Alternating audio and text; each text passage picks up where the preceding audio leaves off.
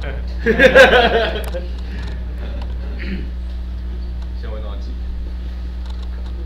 think they have HDMI cables here. Yeah. Um, uh, wait, this is only one part. There's an HDMI to Lightning, Lightning to USB. But I have a VGA adapter.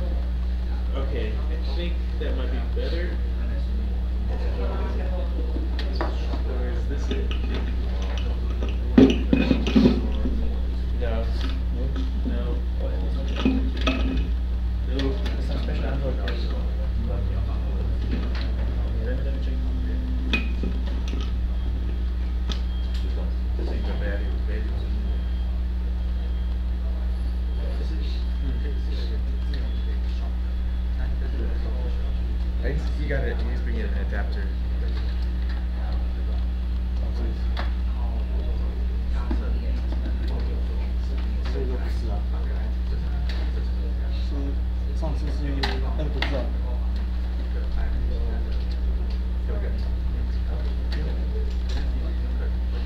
对，所以那个有人谁要想要买那个 Apple Watch？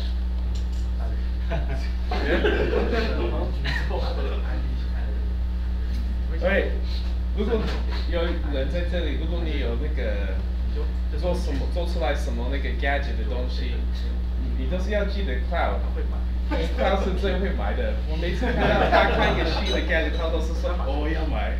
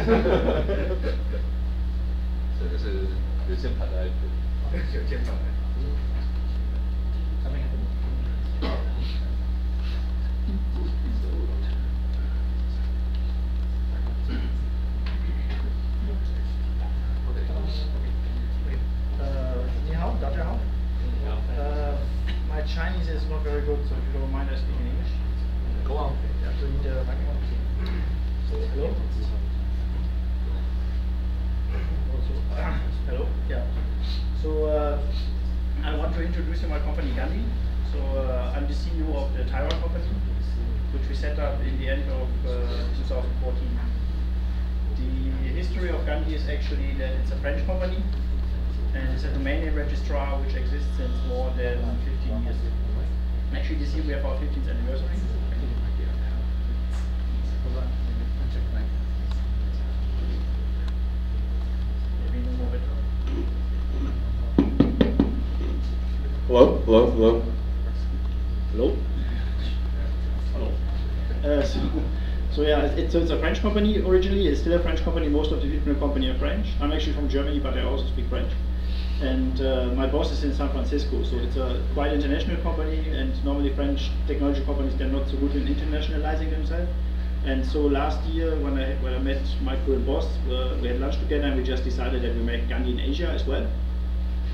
So uh, what we did is. Uh, see. Um, okay, uh, maybe uh, maybe I start with this first. Okay. So about Gandi, we have uh, we have a trademark which is no bullshit. It's uh, it's basically our company philosophy as well. We don't try to be like GoDaddy. If you buy a domain, it doesn't mean you have to buy hosting. If you buy hosting, it doesn't mean you have to buy SSL. It doesn't mean you need to buy another domain name. It doesn't mean um, in two years you will have to pay double and maybe for another domain you get half the price. So we're not that kind of company. Uh, we don't advertise. It means we make no advertisement. We basically support organizations. We sponsor events, uh, and so we are doing that kind of thing in Asia now as well. And uh, yeah, so our, our customer service is very highly rated in Frogs, which is still our main customer base. And uh, so one, some of the organizations we support is uh, VLC. They have an office in our office in Paris. So it's Videolan Client is, uh, is a video software.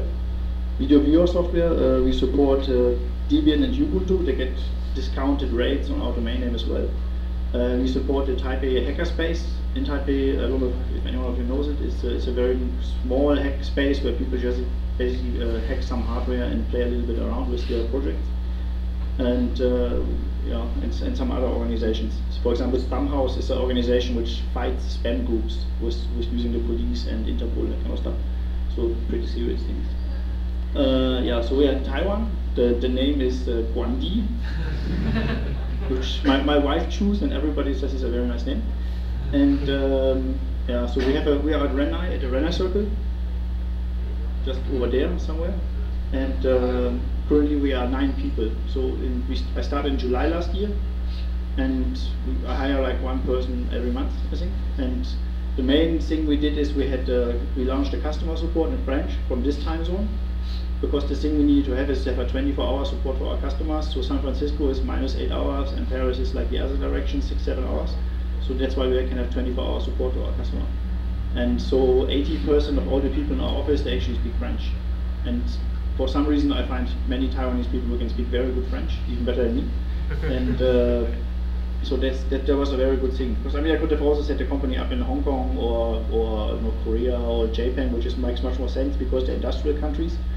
But uh, I was thinking like, okay, uh, I don't, I don't like those countries because the working there is very tiresome, and Taiwan is much more complicated. So my boss was okay, luckily, and uh, it's really.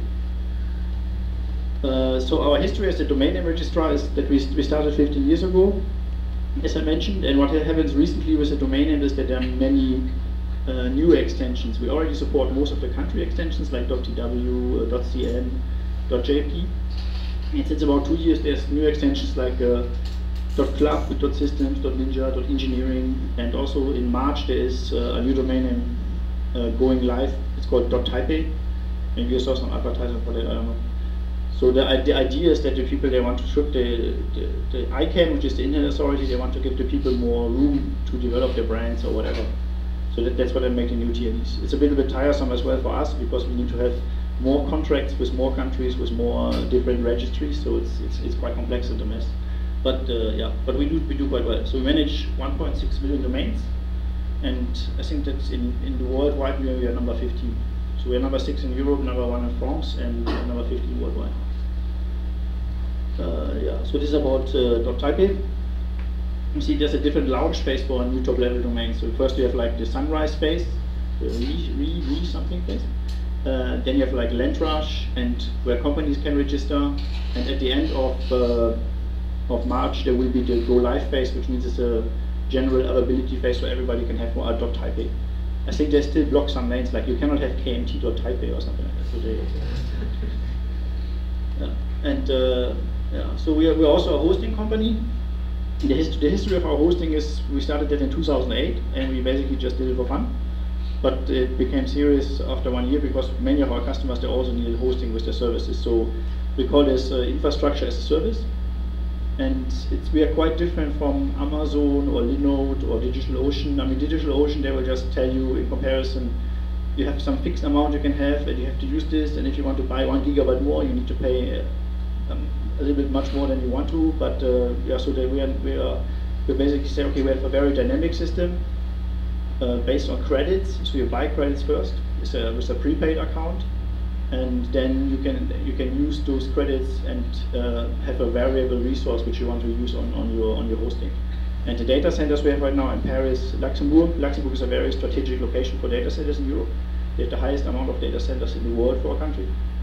And uh, because it's just the center of Europe, and we are also in the US and soon in Tokyo. So Tokyo is the Equinix TY3, which is a very professional data center. And uh, yeah, so you can, between those VMs, I don't know if anyone is very familiar with hosting, but uh, because there are many iOS developers, right? So you, you can launch different VMs or virtual machines, and uh, then you can have up to 24 gigabyte of RAM and for 60 terabyte of uh, SAS storage. The thing is that the, the RAM allocation, for example, is dynamic. We have an API which is free to use, and you can basically say, okay, now I want to use 512, and maybe now I've like PicCollage says, okay, we have 1,000 customers who want to use uh, who convert the images or resize them so you could just uh, push up the RAM and then dynamically go up and down with this. And your your consumption and the money you have to pay to us would be would be lower because of that kind of thing. Uh, yeah. So we also have a platform as a service, simple hosting, um, with four different programming language. Which, which one of you is using PHP for the web service? Nobody? Who's using Python? Anybody's using Python? I do Python. Python, okay, Python is good. Node.js, and Ruby, Ruby is quite new, know, well, maybe okay, yeah.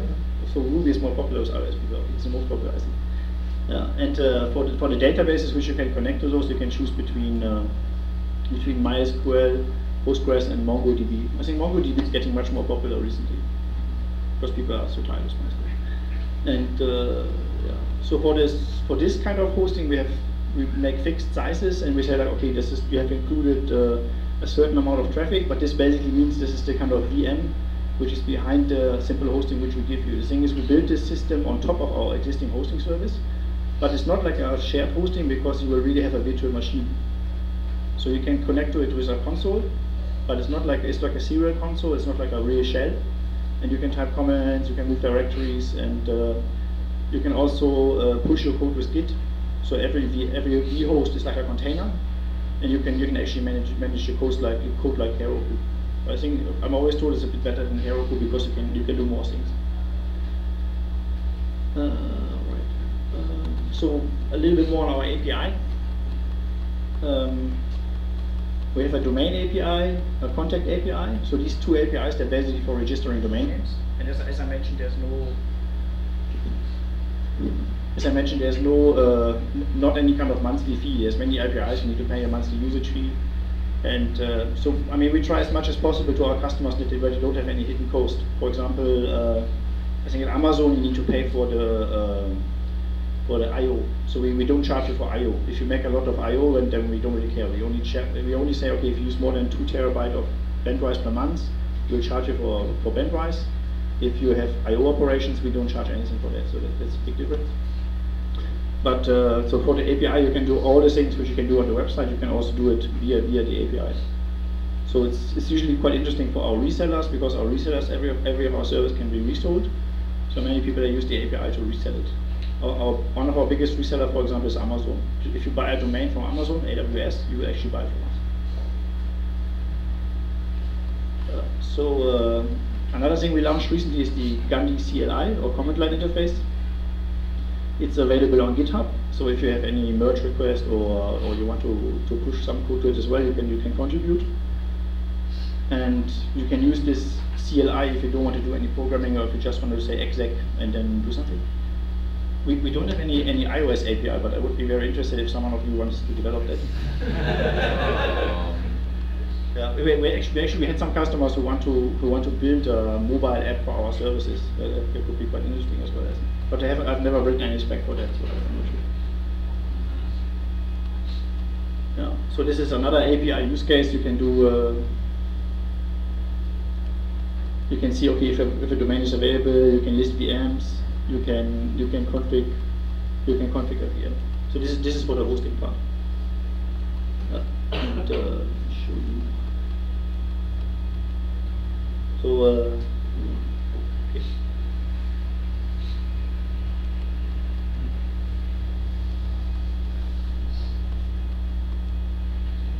Is Singapore, by the way.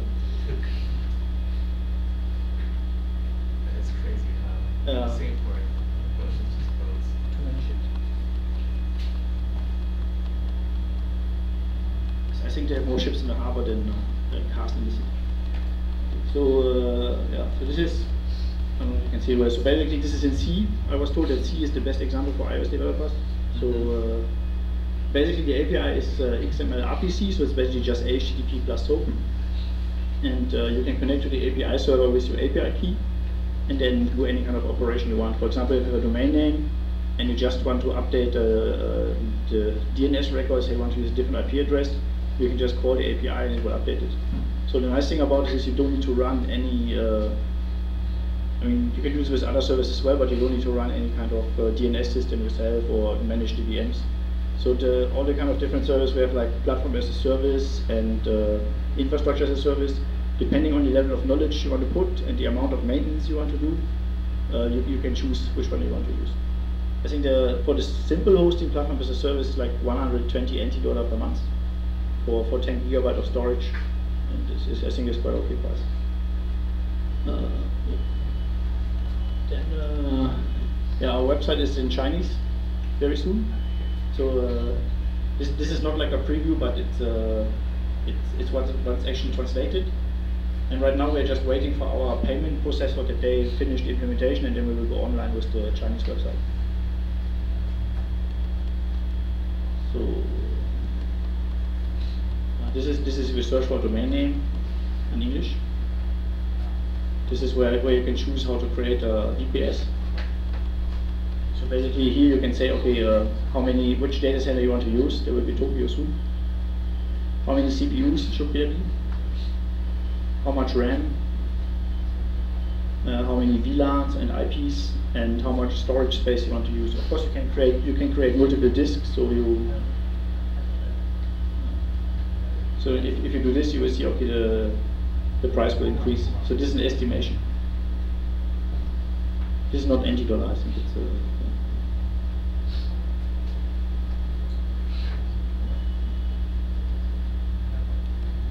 this is the interface for creating a simple hosting instance.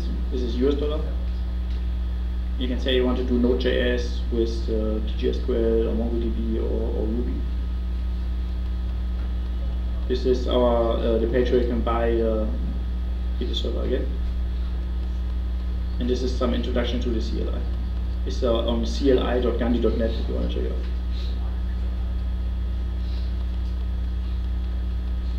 And this is our rice book. Cool. The, the complete documentation for the API is on uh, doc.rpc.gandi.net and you can you can check out everything you can do. You can also buy SSL certificates and manage the SSL certificates with the API as well. No. Any question? Is there an API for checking the domain availability? You saw you Yeah, yeah, yeah, yeah, yeah. Free. Yeah, it's free. We have, we have if, if, you, if you want to check for the availability of domain, yeah, it's free. But I think we have like a limited amount of calls per, per minute. But we don't charge extra if you want to have more calls. If you have more calls, then just tell us and we will we will remove the limit probably. So that, that's how it works. And uh, most most of our resellers, of course, they use an API for for for, for doing it. Amazon has their own dedicated API server, but the, our customers they, they use this as well. Uh, any other question?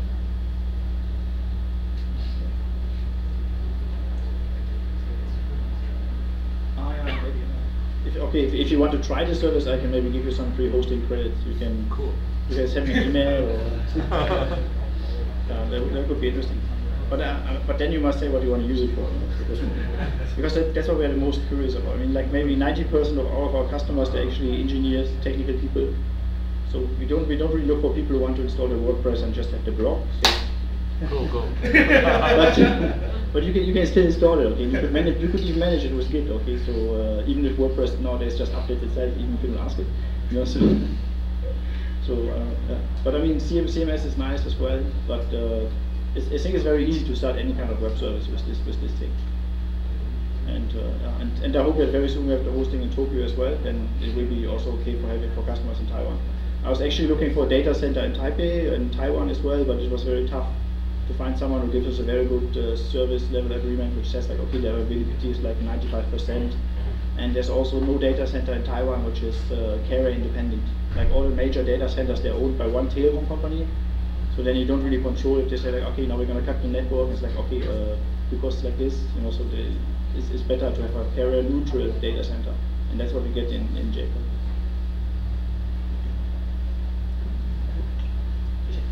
呃，跟最重要是，如果你有问题，我们知道他住在哪里。